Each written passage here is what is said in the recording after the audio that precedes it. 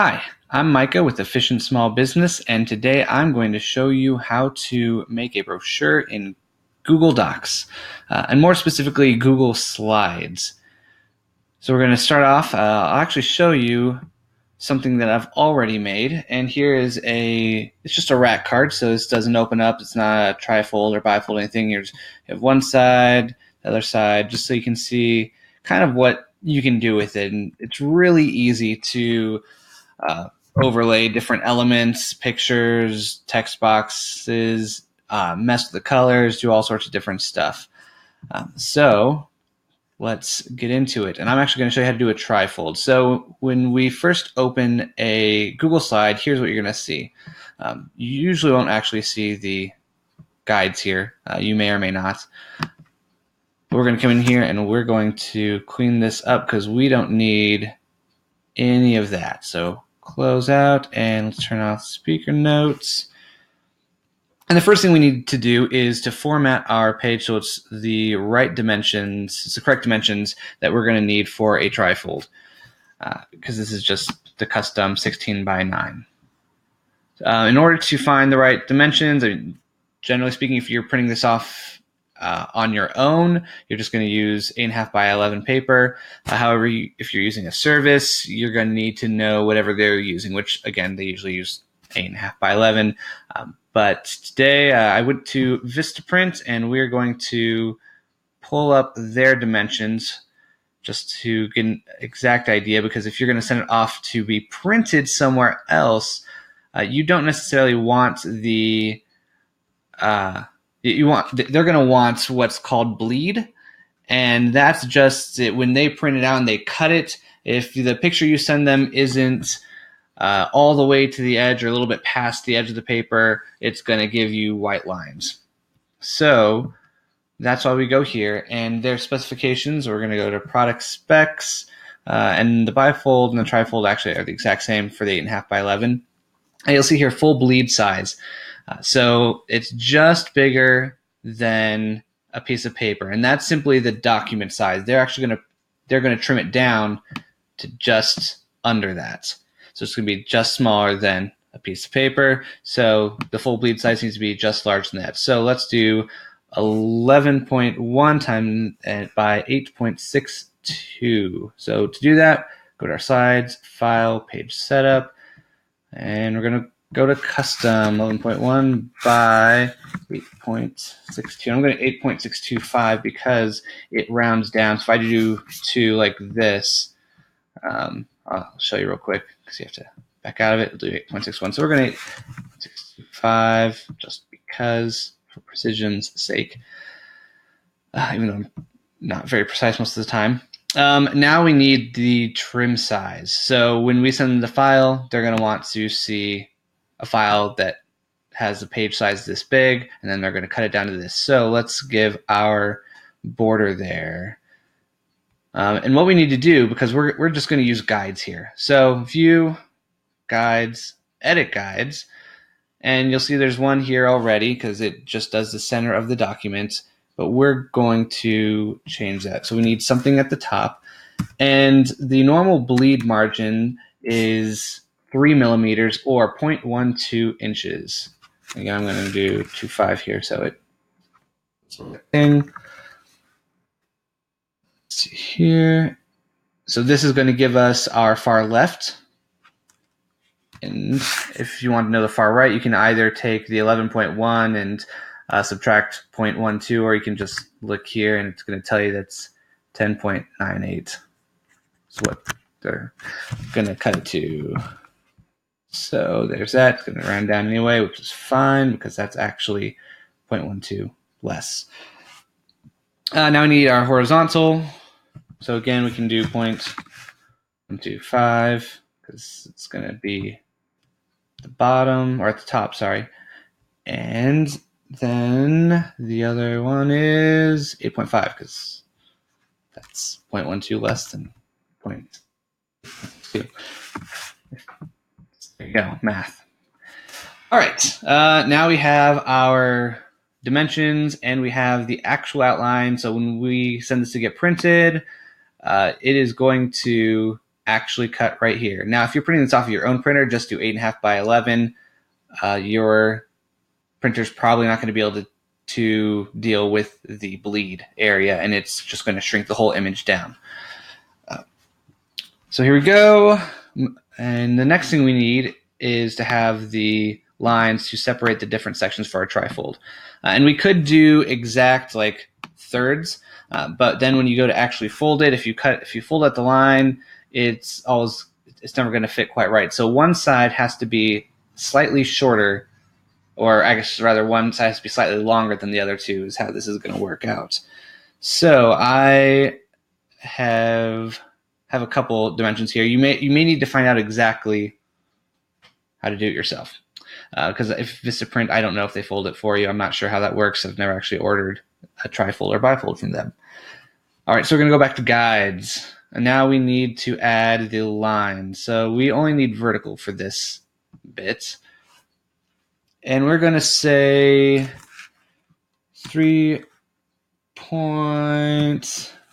3.65 and 7.313.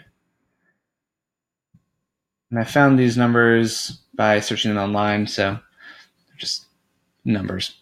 Uh, so here you go. Here's where the here's where the paper should actually be folded.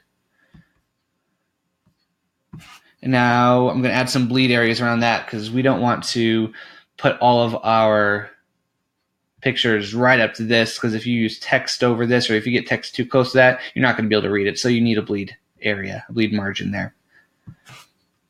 All right, and the bleed margin for that we're going to do 3.53, 3.77, 21. Let's just do 7, 21, and point four. I think that's going to round down, yeah. And voila, except for one of these. That's not going to work out. Let's have a look at that. Looks like it's this one right here. Because that's not how you do math. so 3162, 3.74. It's a little bit better. Looks like it's still a tiny bit off, but you'll figure it out on your own. Okay. So, uh, the other consideration here is let's say we're doing two pages, because you're going to do two pages. Oops. Um, you the margins actually need to be uh, inverse here, so you need to do them backwards. So you have two options here uh, are two good options. Maybe there's another one that I don't know about. You can, I'll show you that in a second. Um, you can do one page all at one time and then change the margins, then do the second page with the new margins, which may seem like a bit of a hassle, especially if you want to go back and forth. Maybe that's not the best option for you. Uh, otherwise, you can create a line here right over the top of this one and know that this is your line. So you do this, make another line. Let's say we put one over here, and then we change the margins, and then we do something down here so we know that they're going to be different on each page. Uh, the only issue with this, so I can now remove move these guides, you'll still see the lines here. There's a couple issues with this. The first one is that the well is the alignment trying to get the perfectly straight line so let me show you here. If we go to format options, you will see the width is 0.01, which means it's not actually straight, which isn't a big deal. You might be able to work around that. Uh, otherwise, you can, you, you can't just type zero in here. If you try, it's going to tell you no, and it's going to go back to whatever it was. However, let's see here. Doesn't like me for that. Okay, I don't know why it just went blank on me.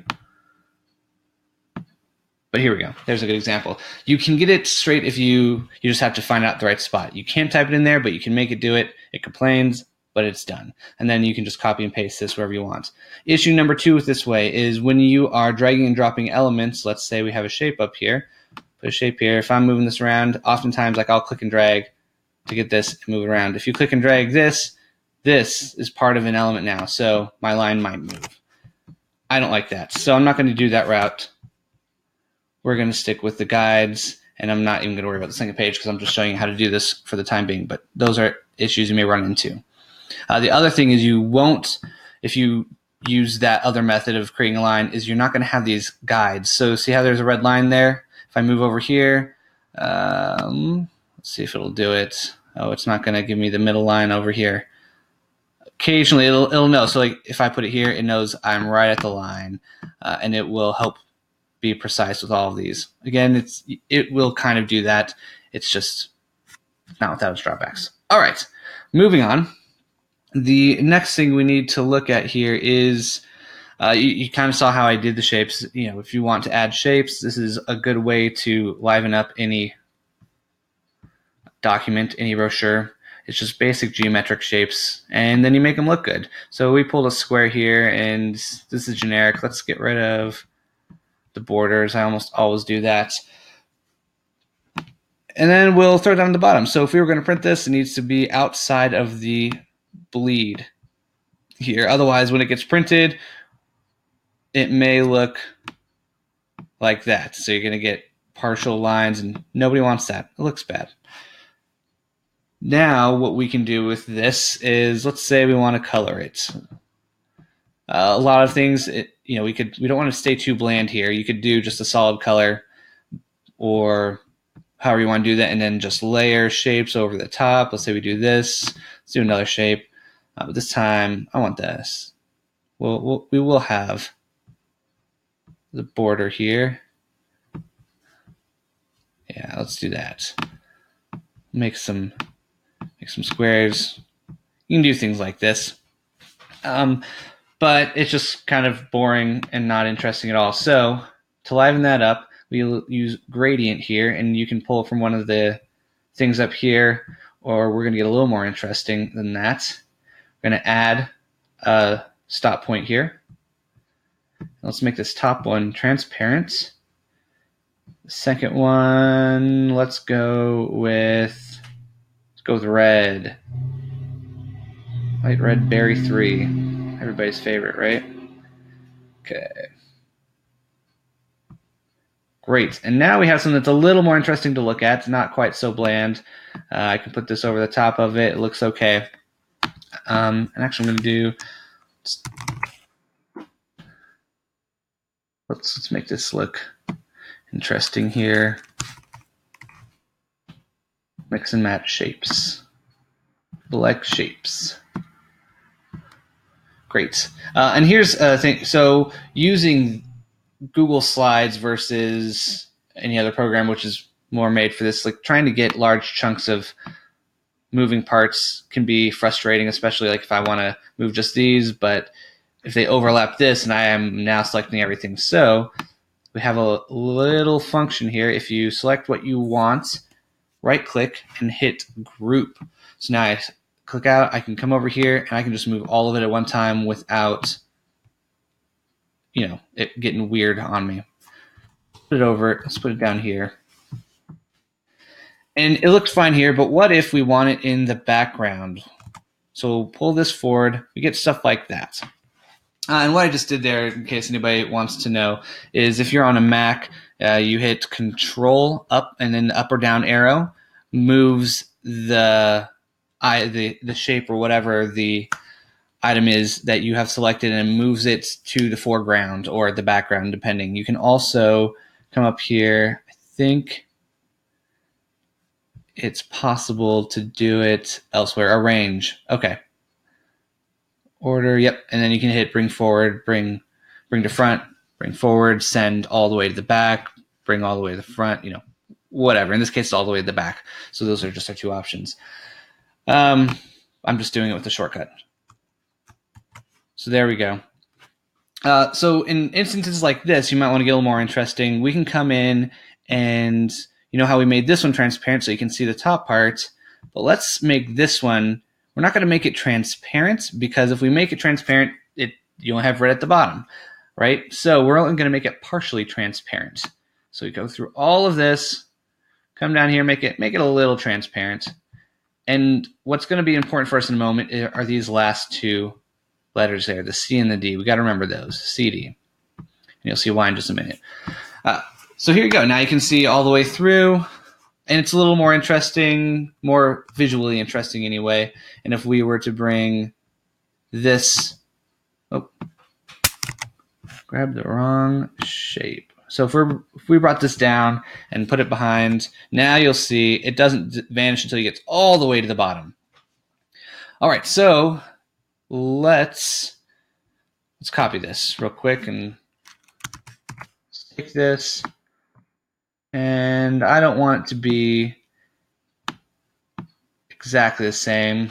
Let's let's check this out. All right, so when you have something selected, you can right click. If it's a picture, you'll actually have the option up here, but as a shape, uh, you don't have the option for just a format button there. Actually, it was. It, it's over here. I forget. Yep. So there, format options. You go there, click it, pulls up this menu. Um, and you have these different options size, position, text fitting, so on and so forth. Let's go ahead. We'll flip that.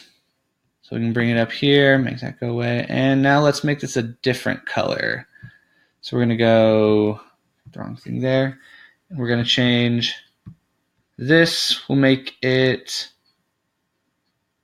orange. Uh, but remember, we made the other one slightly transparent. So let's do the same thing because when you make it transparent, it does change the color, like how you see it a little bit. So remember, we had CD over there. We have CD here.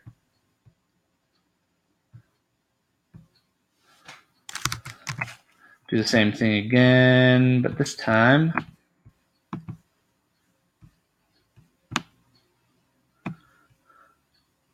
All right, let's make sure it's lined up there. And you'll know it's it's there when you see the red line. So all the way at the right, you can see that red line that pops up. It means I'm right there on the edge, and then I need to do the same thing at the bottom. Sometimes it has a little bit of issues, so you might have to mess around with it just a little bit. Okay, there we go. Move that all the way to the line. And we want to change the color again, because why not? This one we will make green. Don't forget, we made it partially transparent. Let's do the same thing here, just so keeping the same theme going. If we have similar uh, visual parts or different items on there, you want it to all just be consistent throughout. Okay, great. So we have something like that. Uh, let's take a look at uh, text boxes. Text boxes, text, yep yeah, that's the right way to say that. Uh, actually, no, no, let's do let's do an image first. So, because we want we want to have a fancy image, because right now this is still pretty boring. Uh, by the way, none of this is probably gonna look good when we're done. I'm just messing around a little bit. You'll get the idea, and we'll pull this up. And if nobody's familiar with the website Pexels, uh, it provides royalty-free uh, photos to users, and it's amazing. So you should go check them out. It's Pexels, P E X E L S. I'm not endorsed by them. I just really like what they do. and you should check them out because, yes. Okay.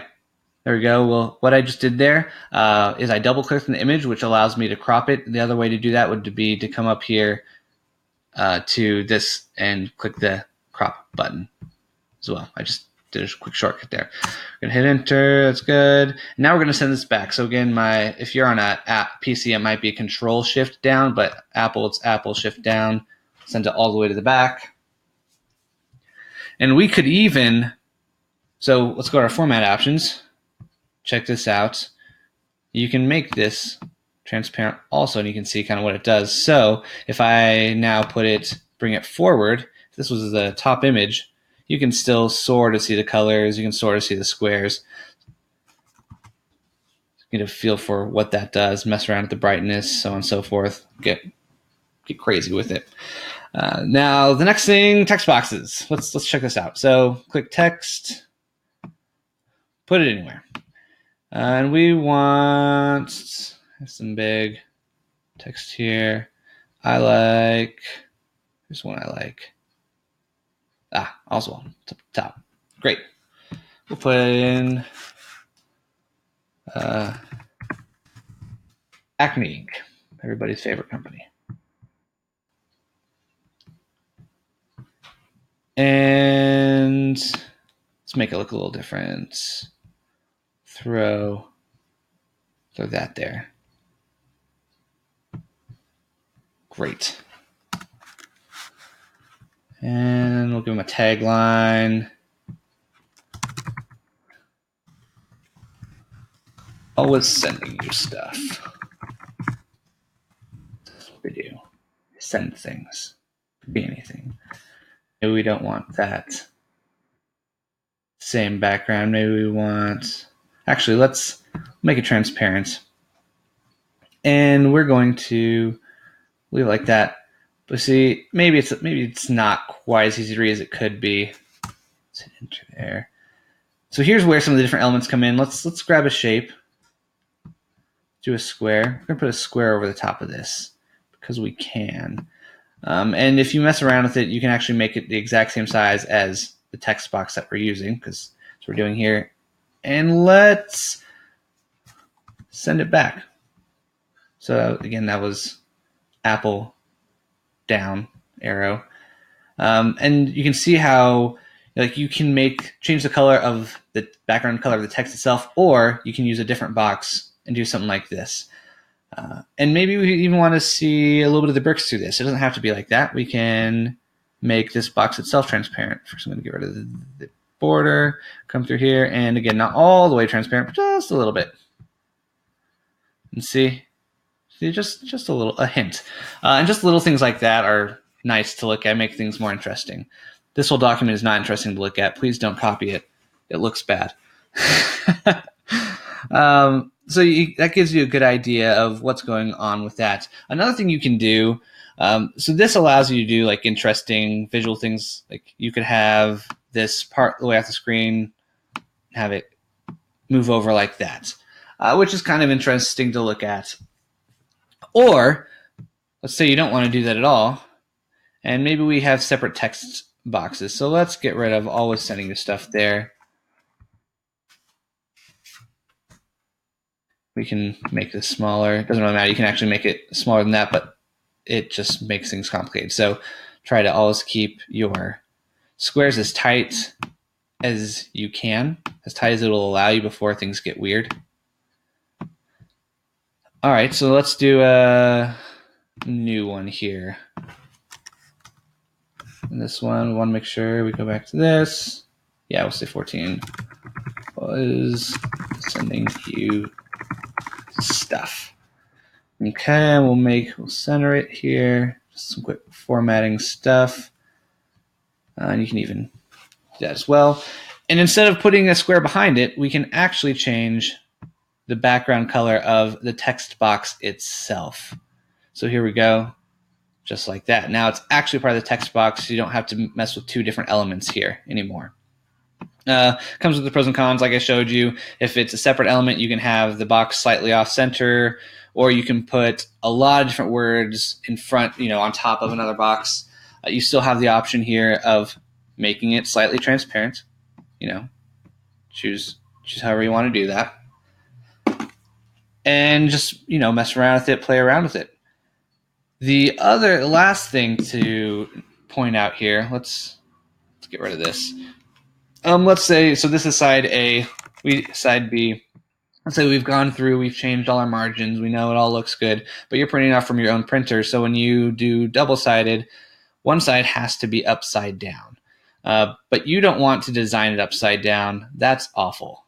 And you don't want to try to mess with things. So for some reason you find yourself in a position where you have to flip it, go ahead. You can select the whole thing, just like that, hit formatting options up there, size position, and upside down. Just like that. You can also do left and right. So maybe you want to switch it. Um, something to note when you're using the flip, the only reason why it's flipping the entire image is because my selection is the entire image. So if I come over here and I select this box, for instance, and I hit flip, nothing happens. It's a text box. It's the text itself isn't going to flip. It's the box is flipping. You just can't see it. Um, another way to show that would be to use these boxes here. So there you go. That's what it looks like. If it's flipping it, you can do 90 degrees, do whatever you want. Okay. Go crazy with it. There we go. And that is how you make a brochure using Google Slides. Uh, if you have, you could do actually do the same thing with Google Drawings, but then you can't do multiple pages. This allows you to do multiple pages. Otherwise, Google Drawings works almost exactly the same way, uh, has almost all the exact same um, menu options. Not entirely because it's drawings and not slides. Uh, but if you have any questions, uh, feel free to leave them in the comments. Uh, and feel free to like this video and follow me on YouTube. Have a great day, everybody. Bye.